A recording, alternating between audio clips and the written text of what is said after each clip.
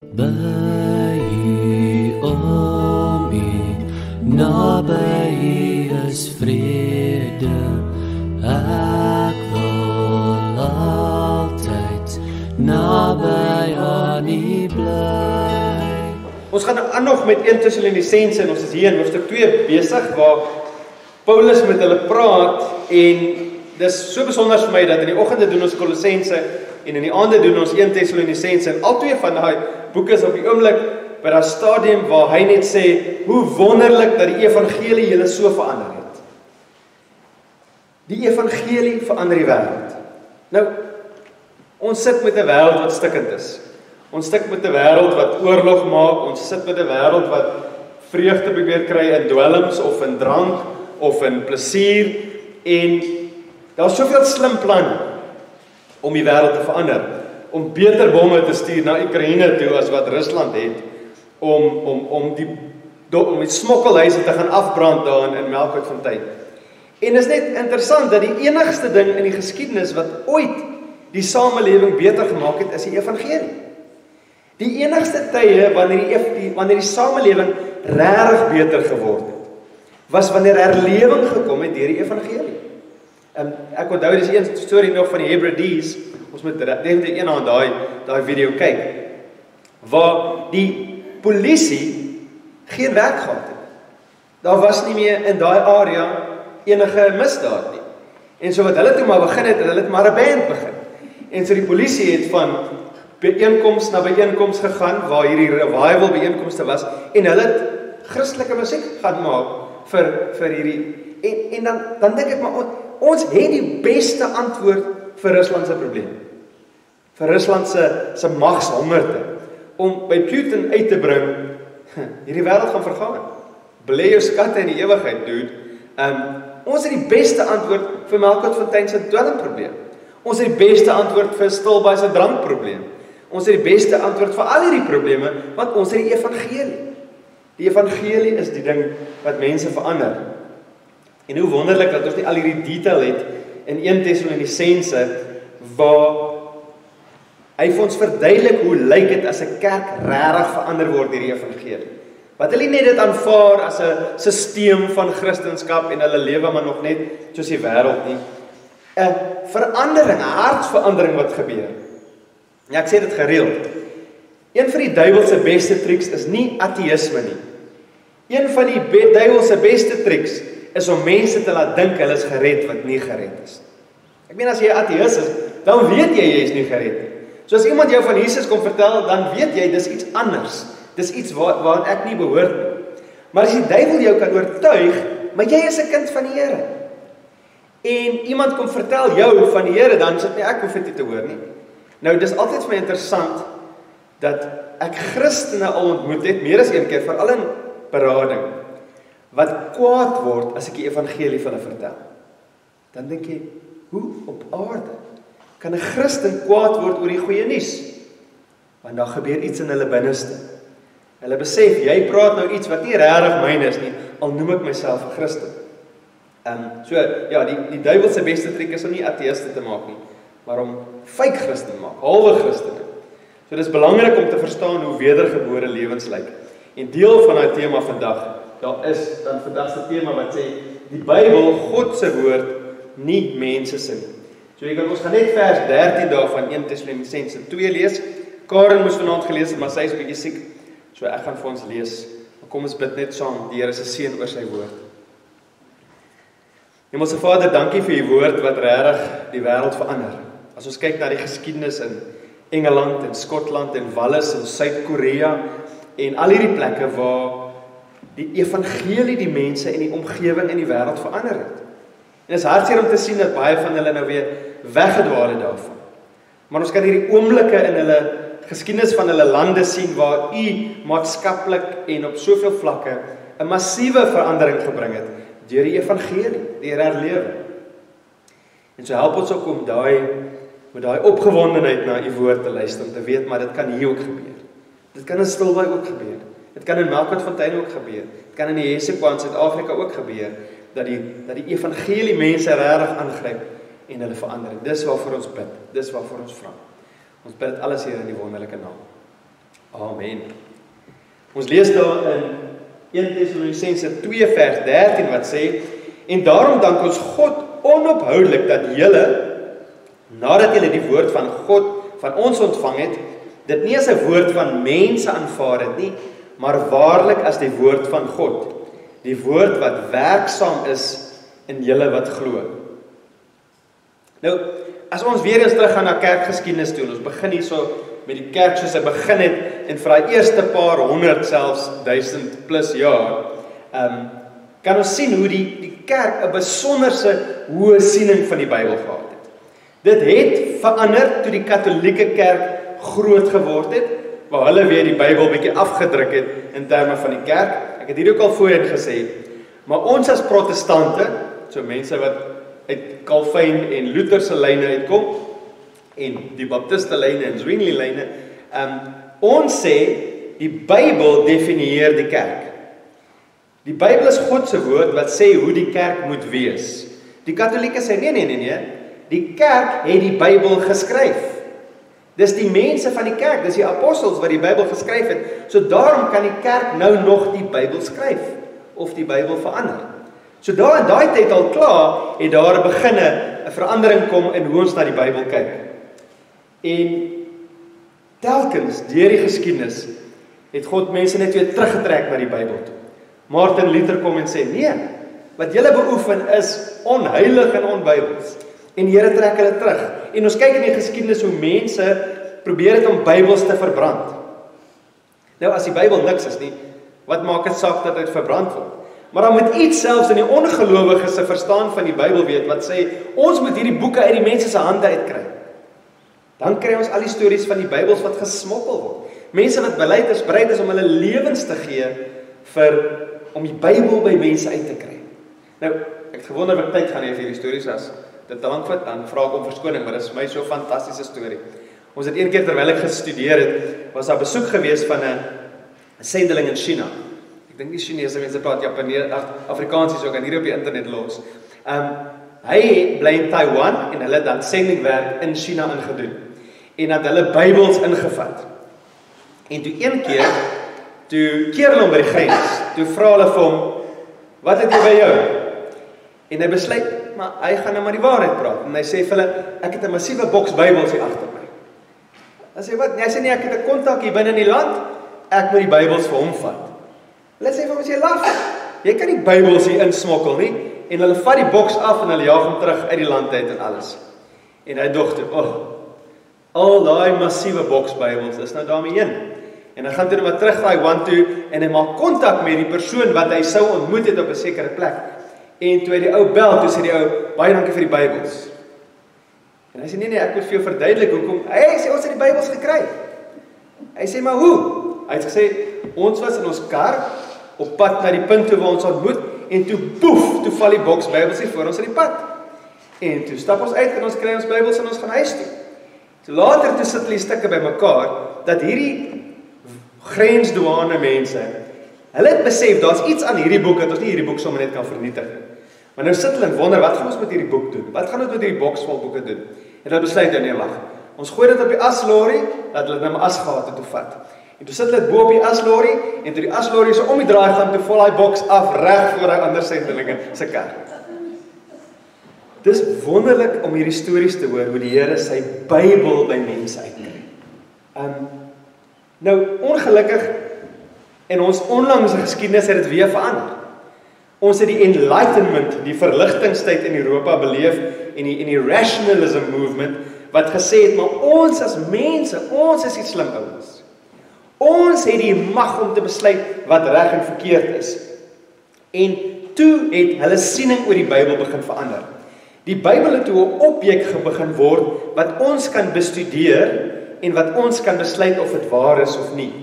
En die die reël het so verander. Die siening was altyd die Bybel is God se woorde aan die mens.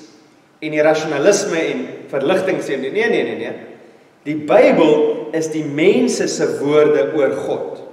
So die oorspronklike siening was die Bybel is God se woorde aan die mens Hulle siening is nee, die Bybel is mense se woorde oor God. Nou hoekom is dit 'n probleem? Julle kan vir my sê.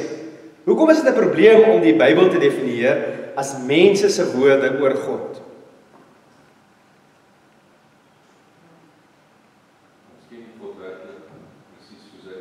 Ja.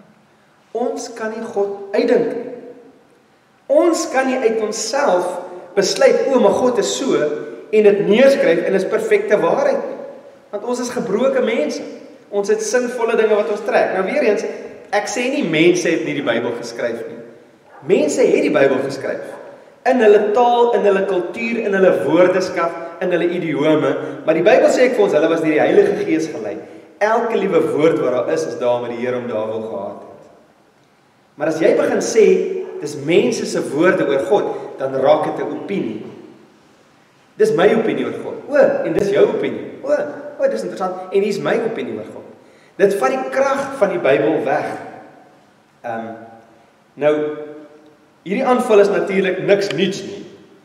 Dat dit mense sê dis nie meer God se woorde nie, want hier in hierdie teks hoor ons dat Paulus sê ons is so bly toe julle die woord kry, toe sê julle dis die woord van God, dis nie die woorde van mense nie.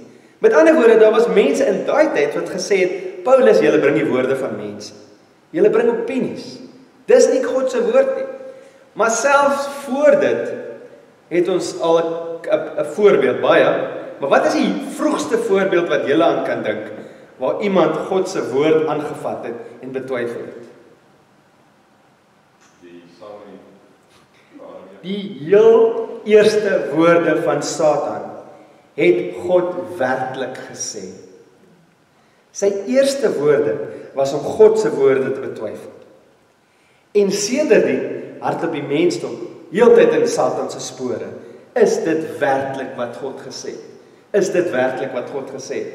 Um nou ons waarvoor ons nou nie tyd vanaand het nie, is om diep studies te gaan doen om vir julle te wys dat die Bybel soos ons hom het, kan ons aanvaar. Dis God se woord. Ons het lank terug daaroor gepreek, fantastiese video's daaroor op YouTube wat ek vir jou kan stuur. Maar jy hoef nie te wonder, het dit het dit verbrokke geraak? Het daar korrupsie ingekom? Is dit soos dit moet wees nie? Daar is geen boek op aarde so naby aan die oorspronklike soos die Bybel wat ons het. Maar ons sit nou vandag met 'n kerk wat in twee gedeel is. Die een kant hou vas aan God se woord en probeer moeite doen om die teks te verstaan, om te besef hierdie is God se woorde. Ons kan dit nie ligtelik opvat nie. Ons moet weet wat hier aangaan. Nou ek sê altyd vir mense, ek het geen vrees om voor mense te praat. Dis 'n seëning van die Here dat ek jy kan my voor miljoen mense dat ek sal lekker met hulle gesels. Maar vra vir my om te preek en dan raak ek bang. Want as ek voor mense net moet praat, dan is dit my woorde en ek gee nie om oor my woorde. Maar die oomblik wat ek hier kom staan, is dit nie meer my woorde nie. Ek word um wat die woord gejudge op wat ek hier sê of ek God se woorde na mense toe bring. So daar is nog kerke wat sê, "Wow, die Bybel is belangrik, dis God se woorde." Maar aan die ander kant weer is daar mense wat sê, "Ons hoef nie die Bybel ernstig op te vat nie. Net party dinge is waar." Ek weet nie of julle al gehoor het van die the Jesus seminar. The Jesus seminar. Nou, kyk, dis hulle logo. Ek gaan vir julle nou 'n bietjie vra vra oor daai logo.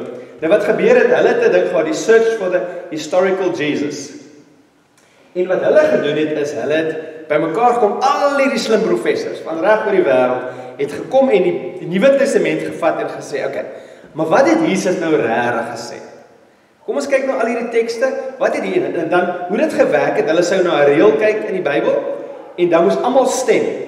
So as jy 'n rooi as jy dink hierdie is iets wat Jesus regtig gesê het, dan gooi jy jou rooi bead, jou rooi kraal kraalietjie in die boks. As jy dink dat Jesus heel moontlik dit gesê het, dan gooi jy jou pink kraaltjie in die boks.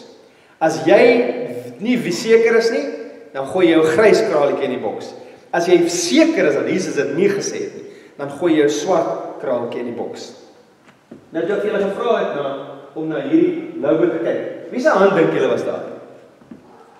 Die eerste keer toe jy net daarin kyk. Jesus, ja. Dis die Jesus seminar. Kyk sy mooi kleed en alles. Maar wat is daai persoon se hand? 'n Kraalietjie. Dis nie Jesus nie, dis hulle. Hulle is op die logo. Kan jy sien hoe hulle die plek inneem van God? Ons besluit wat die waarheid is. Nou weet jy wat die wat was die uiteinde van hulle seminaar? Nou hoeveel hoeveel hier dinge het Jesus in die Bybel gesê? Honderde. Ek sal miskien nie duisende nie, maar honderde dinge as jy na die evangelies kyk. Hoeveel ding ding dinge dink julle het hulle besluit het Jesus heel moontlik gesê? 11. 11 dinge. Die res is uitgedink. Nou verstaan jy, dis nou nou ek dink nie enige kerk gaan hier kom en sê onthou hierdie teks wat ons nou net gelees het is 'n swart kraaltjie nie so maar dit gaan uitkom in hoor hoe die pastoor of die dominee God se woord hanteer of hy dit regtig glo as God se woord of mense se woord. Ehm um, daai 11 dinge wat hulle besluit het Jesus se sê ding is het niks met redding te doen gehad nie. Het niks met verlossing te doen gehad nie, het niks met sonde gehad nie. Dit was dinge soos draai die ander wang. Ja, dit klink soos iets. Enigiets wat ek is God, ek het gekom om vir julle te sterf. Nee, nee, wag, dis later nonsens. Wat hulle gesê het, nie ons sê natuurlik nou glad nie so. Ehm um, en so weer eens, wat is die probleem as ons moet begin besluit wat die waarheid is? Dan is ons God. Dan sit ons ons in die posisie van God, want nou is ons die een wat besluit wat waarheid is, nie God. Ehm um, en dit gaan altyd buig volgens wat ons wil hê en waarvan ons hou. Tim Keller het eendag gesê, een van die redes hoekom ons weet dat die Bybel God se woord is, is omdat daar nie een persoon op aarde is wat die Bybel gaan lees en sê, "O, oh, ek hou van alles nie." Elke iemand gaan iets daarin kry wat jy sê, "Nee, kom en ek hou nie daarvan." Hoekom moes hierdie nou daarin gewees het? Dit sê vir jou, dis nie deur mense gemaak. Dis 'n God wat se wee nie ons wees nie en sy woorde nie ons woorde is nie en sy gedagtes nie ons gedagtes is nie. Nou, ek het so 'n lysie hier opgemaak van die tipe dinge waarvan mense nie hou nie. Ehm party mans hou nie daarvan dat hulle hulle vrouens onvoorwaardelik moet lief hê nie. Jy wil 'n escape clause hê. Jy wil sê maar kyk, jog, my vrou het nou al die derde maal hierdie week die kos verbrand. Iewers raak dit net te erg. En die Here sê, daar's niks, maar niks, maar niks wat jou vrou kan doen wat maak dat jy moet ophou lief wees vir haar. Niks. Dis onvoorwaardelike liefde. En party mans hou nie daarvan dat die Bybel mans en vrouens op 'n gelyke vlak stel nie. Nee nee, wag. Mans is belangriker. Jesus en dit het al van ateïste gehoor wat sê daar was niemand in die geskiedenis wat so baie gedoen het vir vroue en kinderregte soos Jesus nie. Niemand. Nou weer is daar's party vrouens wat nie hou van die feit dat die man die hoof van die huwelik is nie. Hulle wil die baas wees. Nou ek het hierdie preek voorberei voor die naweek, maar toe iemand het vir ons kom kuier op Vrydag wat dis eintlik tieners van my van Durban wil terug en ek het hulle getrou en hulle bly nou in Engeland en hulle het vir ons kom kuier en hulle is onlangs na 'n ander kerk toe waar die kerk ook sê dis die Bybel. Die hoof is die die man is die hoof van die familie. En sy sê vir die eerste maal na lewe is dit so bevrydend om te besef sy hoef nie die hoof van die familie te wees nie. Sy is op 'n gelyke vlak met haar man Sy kan dinge bespreek met haar man, haar man luister na haar wysheid en insig, maar aan die einde van die dag is dit sy besluit en hy moet daarvoor staan. Hy moet verantwoordelikheid daarvoor vat. En sy sê dit is so bevrydend om te weet die Here het vir my iemand gegee wat daai rol vir my kan vervul. Ehm um, weer eens party vrouens hou nie daarvan dat daar party rolle gegee is in die kerk net vir mans. Ehm um, weer eens party kinders Hou nie daarvan dat die Bybel sê jy moet aan jou ouers gehoorsaam wees. Maar dit is so baie lekker ek kon besluit wanneer ek gehoorsaam moet wees. Ehm um, baie werkers hou nie daarvan dat die Bybel moet sê jy moet hard werk, jy moenie lui wees nie. Baie baase hou nie daarvan dat die Bybel sê jy moet jou werkers soos familie behandel. Een van die groot probleme wat as ek met ateëste gesels, dan sê hulle altyd vir my, "O, oh, maar die Bybel is vir slawerny." Hoe op aarde kan jy vashou aan 'n stelsel wat van slawerny um, goed praat. Toe sê ek ja. Maar die Bybel sê jy moet jou slaaf soos 'n broer hanteer. As dit slawerny is, dan het ek nie 'n probleem daarmee. As jy jou slaaf hanteer soos iemand vir wie jy lief is wat op 'n self op 'n gelyke vlak met jou staan en werk nog steeds vir jou natuurlik. Hy's nie die baas nie. Dan dan sit iets anders. Ek weet weet nie so baie stil by nie, maar jy kan in die stad gaan probeer. Um, ek het vriende wat nooit verlof kan kry nie. Hulle gaan vra vir verlof en sê die boss het my afgekeur. Is dit nie slawerny? Wanneer iemand anders vir jou besluit wanneer jy op vakansie mag gaan? Ehm um, weer eens, ehm um, baie hou nie daarvan dat die Bybel sê jy mag nie begeer om ryk te wees nie. Jy mag nie streef om ryk te wees nie. Dit sê nie jy mag nie ryk wees nie, maar dit mag nie jou lewensdoel wees nie.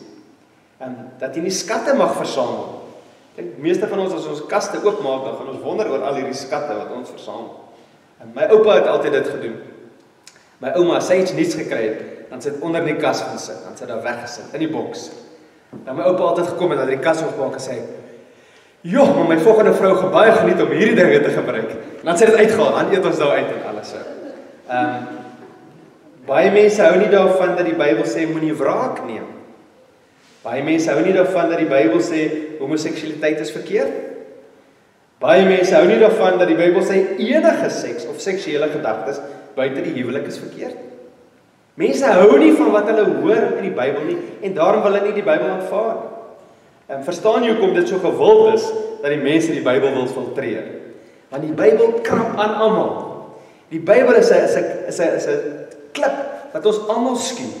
Dat ons almal meer na die beeld van Jesus gelyk wil maak. Maar die probleem weer eens as ek besluit ek hou nie van daai en ek gaan nie daai doen nie, dan word ek God wat besluit wat is waar en wat is nie. Ek dink ons kan partykeer sê Here, ek verstaan nie. Ek verstaan nie hoekom hierdie in die Bybel is nie. Ek verstaan nie hoekom hierdie van my vra nie. Maar ek ek vertrou U. Ek vertrou U en daarom gaan ek gehoorsaam wees. En so ja, En dis 'n groot probleem as ek die Bybel op armlengte wil hou waar ek besluit wat reg is.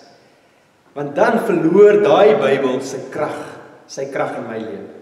Die rede hoekom ons al hierdie stories het van mense wat Bybel smokkel en om die waarheid by mense te kry, is omdat hulle weet enigiemand wat hierdie Bybel aanvaar, gaan die krag van God aanvaar. Maar die duiwel was slim in die westerse wêreld. Hy het nie die Bybel nêrens gesit nie. Hy het die Bybel oral gesit. So ons lees dit nie meer nie. Want dit is altyd daar. Dit is oral.